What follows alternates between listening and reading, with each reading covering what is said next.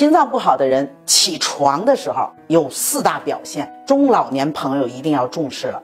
以下四种情况，大家赶紧对照看一下。如果你一个都没中招，那恭喜你，你的心脏还好。第一，坐立不安，心神不宁，醒来以后啊，坐着也不是，躺着也不是，特别的烦躁，非常喜欢安静。第二呢，耳鸣，如果出现耳鸣啊，不要以为只是耳朵出问题了。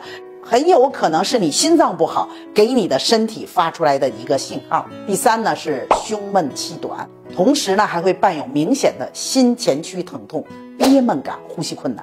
第四呢咳嗽，哎，咳嗽不一定是肺部疾病引起来的啊，很可能是心脏向你在求救。如果你也有上述这些症状的话，一定要引起重视了，及时就医。同时呢，你也可以把你的症状整理好了发给我。我是赵宇浩教授，有着四十多年的临床经验。如果你相信我的话，我会尽可能去为你提供帮助。希望呢，大家记住这些，去帮我分享出去，让更多的人受益。